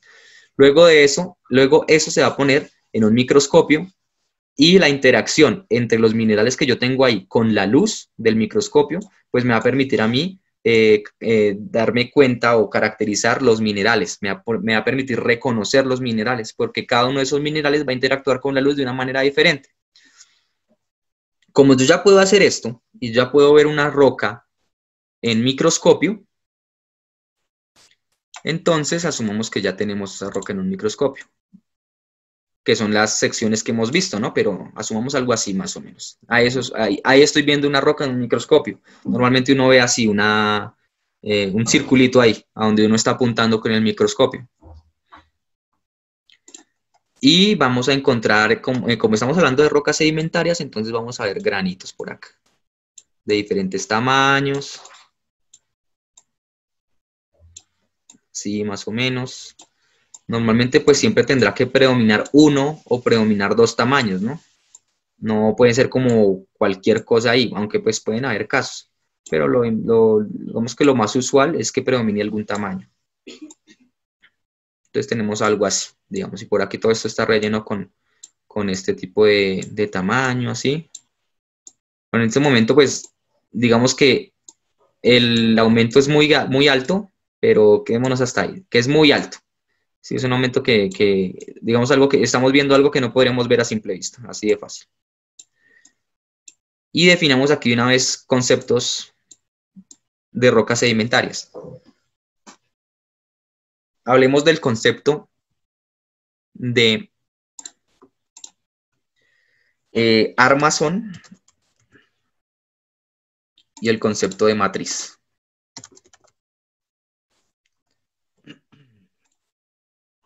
El, armazón de una roca sedimentaria se refiere a estas, eh, a los granitos más grandes, ¿sí? El armazón de esa roca serían estos granitos más grandes. Por ejemplo, digamos que tenemos, esta roca está compuesta, por un lado esos granitos grandes son cuarzo, ¿sí? Y estos granitos más pequeños van a ser, a ver, inventémonos algo. Eh, feldespato, ¿sí? Feldespato. Entonces, si yo les digo a ustedes, ¿cuál es la composición del armazón? El armazón sería estos granos más grandes. Entonces, ustedes van a decir, no, el armazón está compuesto de cuarzo. Ese es el armazón. ¿Cuál es la matriz? La matriz, entonces, serían estos granos más pequeños. ¿De qué está compuesta la matriz de la roca? De feldespato. Entonces, por un lado tenemos el armazón y dése cuenta que esto solo tiene sentido, el armazón, eh, bueno, la, matriz y el armazón no necesariamente están en todas las rocas y la matriz solo tendría sentido si yo tuviera armazón. Si yo no tengo armazón, pues entonces pierde el sentido la matriz. Ya no, yo no puedo definir una matriz, digamos esto, asuman que esto es redondo y entonces tengo muchos granitos por aquí aproximadamente del mismo tamaño y todos los granitos son de cuarzo.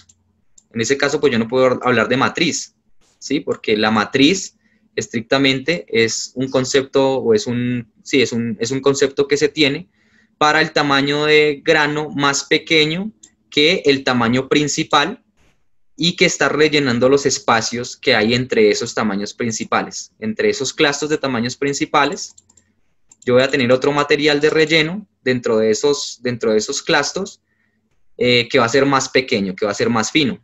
Y ese es el concepto de matriz.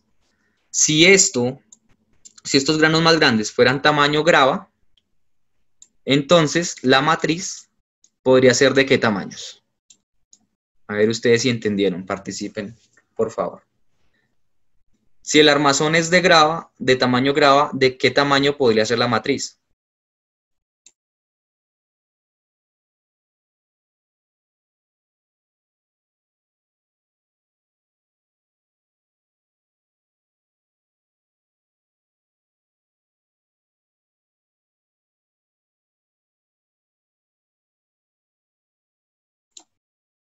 Ricardo Sierra dice que tamaño arena. Exactamente, exactamente, limo o arcilla, exactamente, eso es. Si el armazón es tamaño grava, yo podría decir que la matriz está compuesta de los tamaños que sean de arena, tamaños limo, tamaños arcilla, tamaños más finos, ¿sí? Si el armazón ahora ya no es tamaño grava, sino es tamaño arcilla, eh, perdón, si es tamaño arena, entonces el armazón serían esos clastos que yo encuentro eh, que están entre los granos de, arena, que son de tamaño arcilla o de tamaño limo. Sí, ese es el concepto de matriz y el concepto de armazón. ¿Ok? Aquí en las rocas sedimentarias también se pueden analizar cosas como los contactos que hay entre granos. ¿sí? Eso también me puede dar información, por ejemplo, de la compactación de la roca. Sí, eso va, a eso va a tener que ver con eh, cómo se están tocando esos granos. Yo puedo tener contactos puntuales, o bueno, yo puedo tener eh, granos flotantes, es decir, que no se están tocando, ¿cierto? Este, y en ese caso, pues hablaremos que aquí no hay compactación, ¿sí? Los, los granos ni siquiera se están tocando, no hubo la suficiente presión como para unirlos eh, bien. Pero también puedo tener contactos puntuales. Contactos puntuales entre, bueno, contactos puntuales entre granos, ¿cierto? Se están tocando en algunos puntos. Eso ya me habla de que hay mayor compactación. Pero también puedo tener eh, contactos este, longitudinales, es decir, que ya los clasos se están tocando en una longitud mayor, como digamos así, ¿sí? Hasta que pueda yo tener algo como un contacto este, crenulado, por acá, que ya haya sido tanta la presión que la unión entre dos granos se puede observar. ¿Sí? Se puede observar de esta manera. Se parece como una fusión de granos. Eso también se puede estudiar en las rocas sedimentarias y también me y pues obviamente, como les estoy diciendo, me da, me da información acerca de la compactación de la roca. Pero yo también puedo ver otras cosas de la roca. ¿Por qué será que yo siempre pinto un, un clasto como redondo? Como si eso fuera lo único que se pudiera observar en una roca. Eso es mentira. También puedo encontrar clastos alargados. ¿Sí? También puedo encontrar clastos angulosos. Con muchas formas, ¿sí? Angulosos, que tengan puntas, que tengan todo este tipo de cosas. Y aquí, para poder describir eso, hablaremos ya de la selección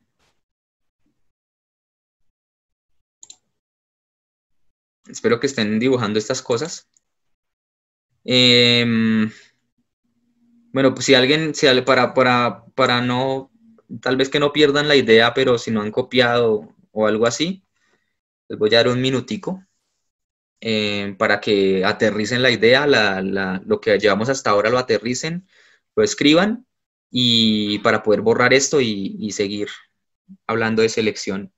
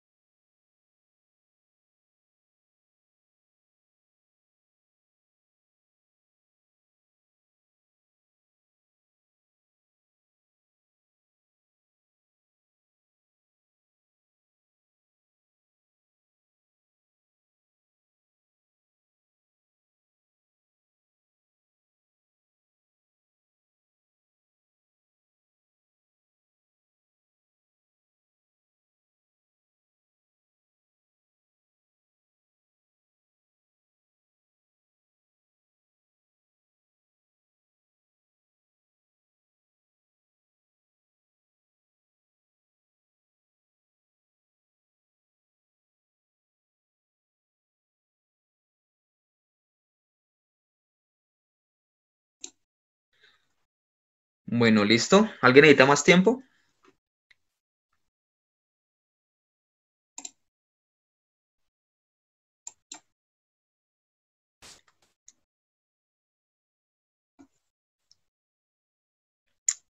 Perfecto, entonces borremos.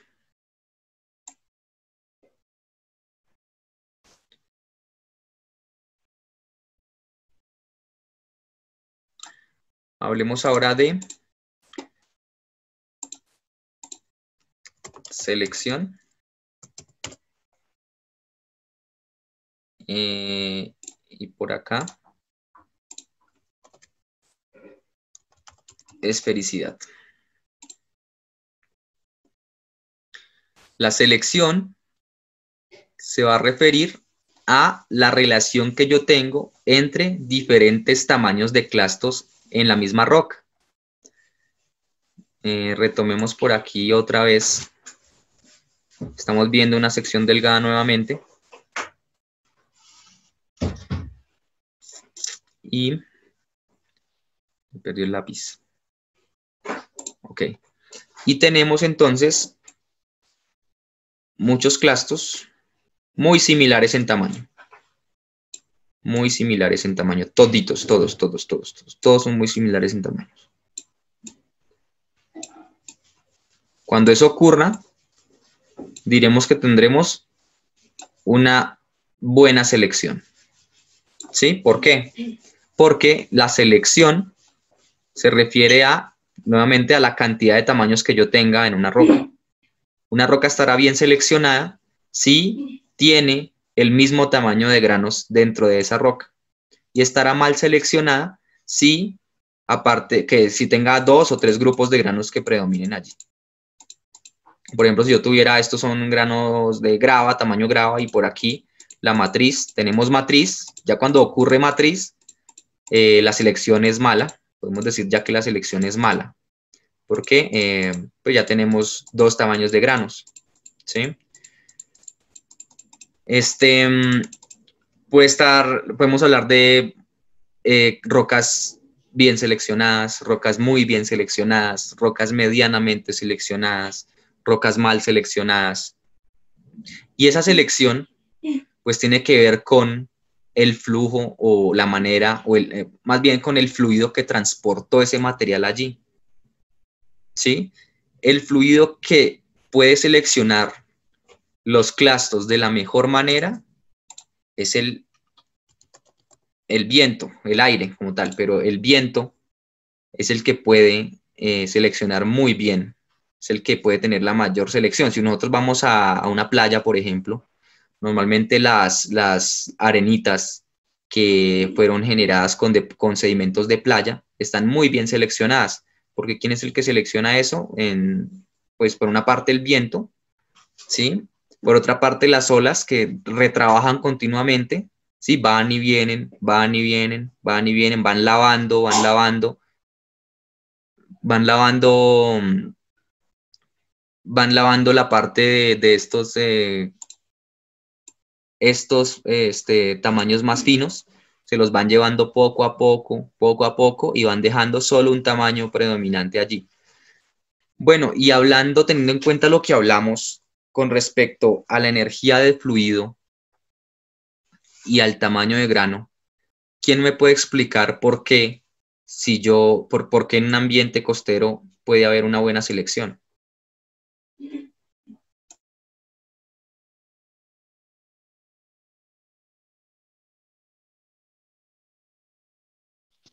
Profe, ¿me escucha? Sí, siga.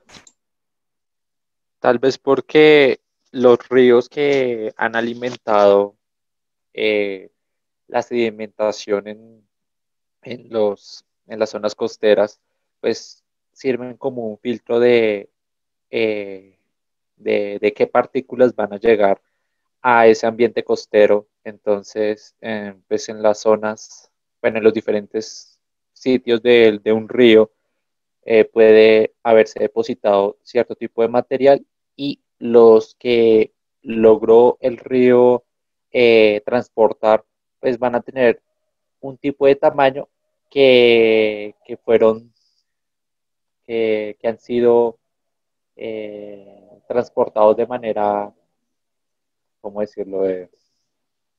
Que el río ha tenido la suficiente energía para llevarlos y hay otros tipos de, sedimentos que pues, se han ido eh, quedando en el transcurso, eh, bueno, en el trayecto del río. Sí, estoy de acuerdo, estoy de acuerdo, eso se cumple específicamente, podríamos decir en algunos casos en los tamaños finos, tal vez, eh, cuando hablamos de ríos que llegan pues tal vez a lagos o ese tipo de cosas, sí. Eh, el río como tal cuando va, va pues por su curso y pues obviamente también tenemos que, hay una limitación allí y es que tendríamos que considerar siempre un perfil de río pues como el, el tradicional, ¿no? Que pasamos de una, rock, de una zona de alta montaña entonces va muy energizado, tiene mucho caudal, tiene mucha energía, perdón. Y eh, pues va de, unas zonas muy, muy altas con un alto gradiente topográfico, o sea, una alta pendiente. Y cada vez que el río pues va mm, en, el transcurso del viaje hacia el mar, pues va perdiendo cada vez ese gradiente topográfico, esa pendiente. Entonces, pues obviamente va perdiendo, paulatinamente va perdiendo energía y va a tener que ir depositando y depositando en su transcurso algunos, algunos tamaños. Los primeros tamaños que va a depositar, pues son los más grandes, ¿no? Porque pues son los más difíciles de cargar. Si, si empieza a perder energía, pues lo primero que se va a depositar es esos materiales más grandes que, que necesitan más energía para ser transportados. Al final, con un perfil de río de esta manera, así convencional, por decirlo de alguna manera, pues al final lo único que voy a tener es, asumamos, tamaños arcillosos. ¿sí? Entonces, claro, eso podría generar una buena selección. Pero no sería lo único, y pues aquí hay unas restricciones bastante marcadas de que el río tendría que ser por una parte muy largo, larguísimo, y por otra parte no, tendría, no podrían haber eh, cambios de gradiente, cambios de pendiente. Y pues nosotros sabemos que los ríos pues pueden tener cambios de pendiente. Si por ejemplo puede por aquí haber una cascada y ya eh, cambiarle el tamaño o cambiar la energía del fluido, de ese flujo, y hacer que ese río pueda transportar nuevamente material más grande. ¿sí? En este caso, como les decía, este, hablaba de un ambiente costero. Y la cuestión es que claro, como yo lo que necesito, o lo que habíamos dicho, es que se requiere cierta, cierto rango de energía para que yo pueda transportar algún tipo o algún tamaño del material. Si yo estoy continuamente con las olas retrabajando esa costa, asumamos que por aquí está la arena.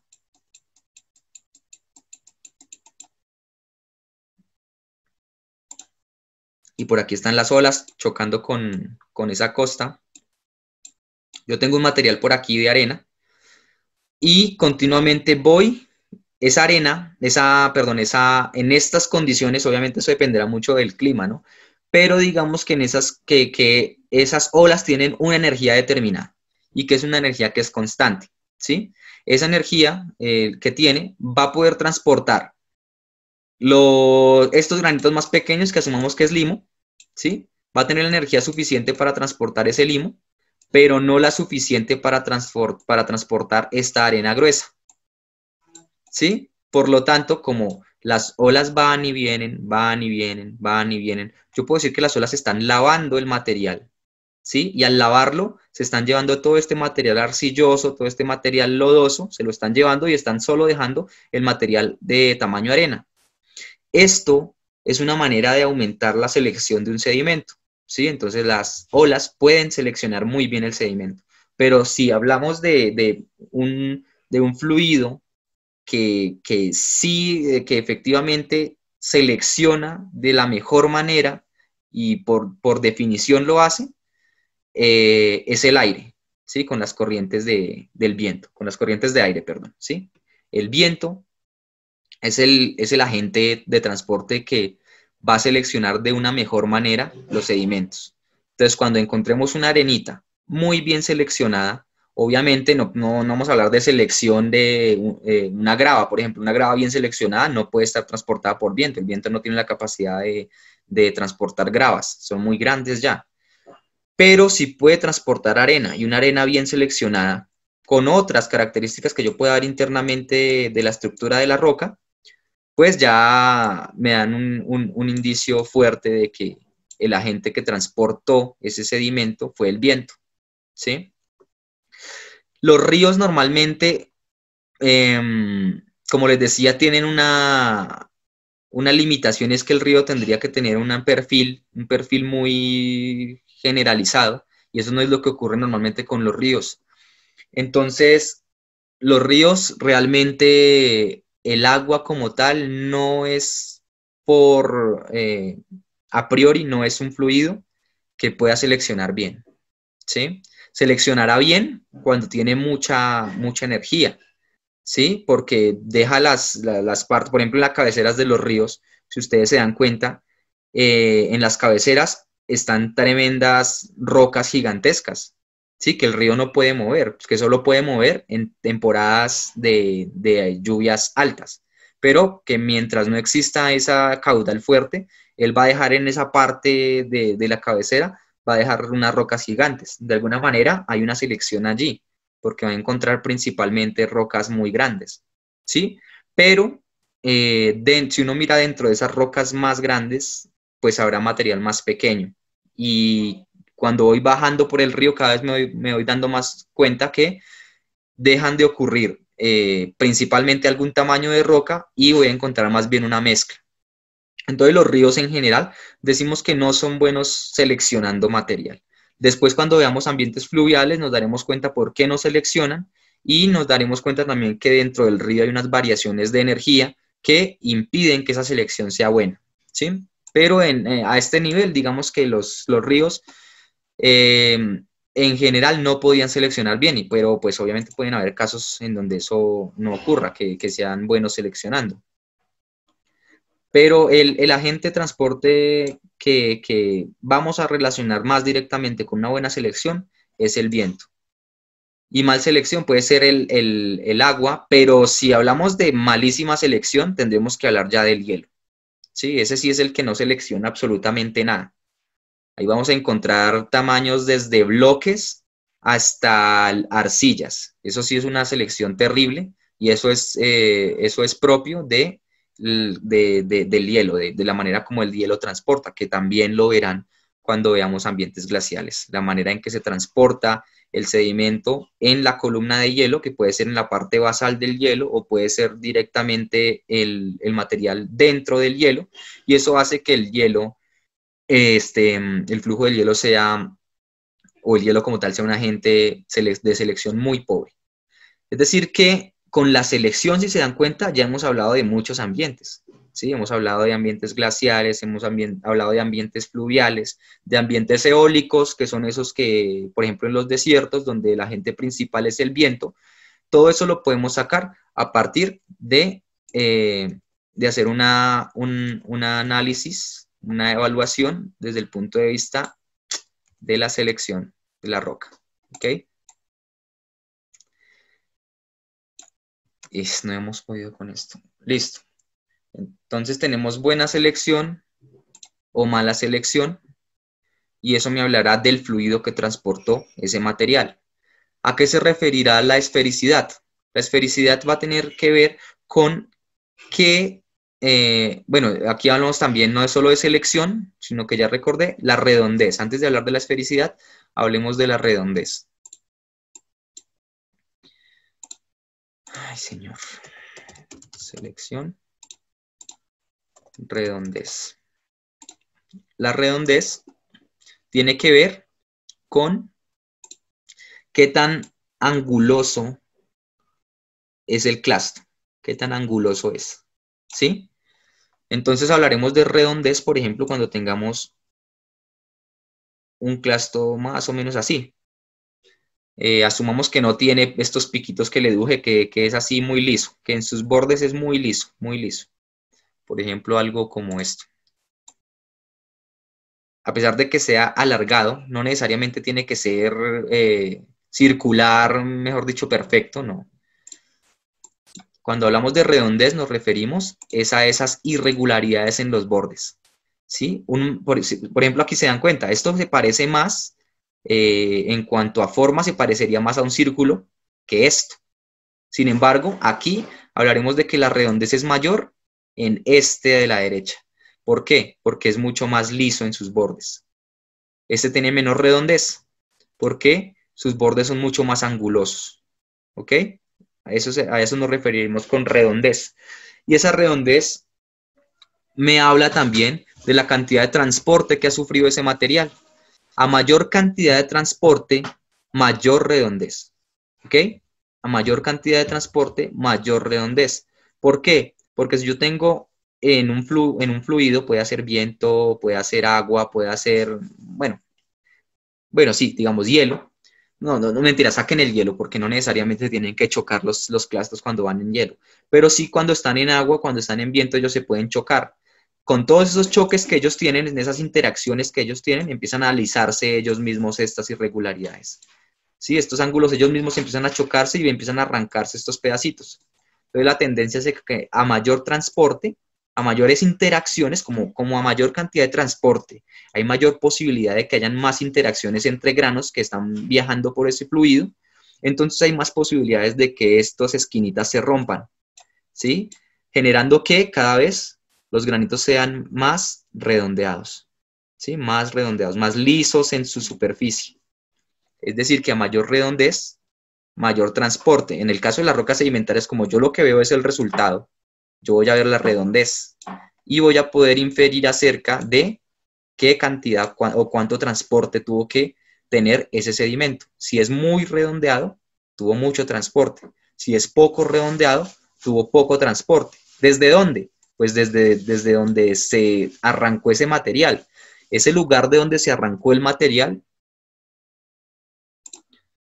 se denomina la roca madre. ¿Ok? Entonces, como yo sé, yo puedo mirar la composición de esto, ¿sí?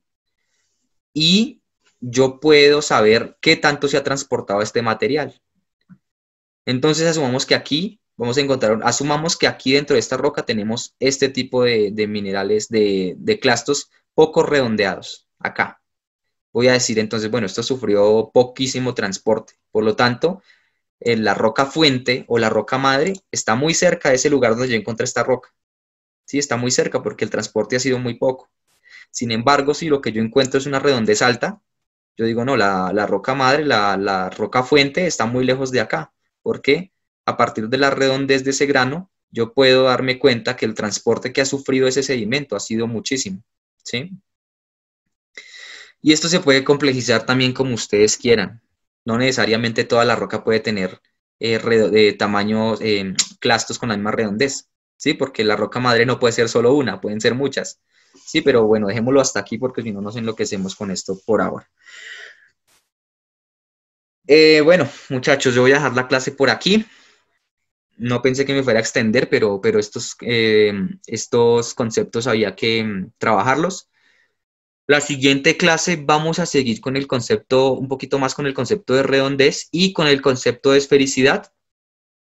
Pasamos a explicar un poquito las, los conglomerados y este, ya nos encargamos eh, de abordar la clasificación de rocas clásticas desde el punto de vista ya no textural, sino composicional.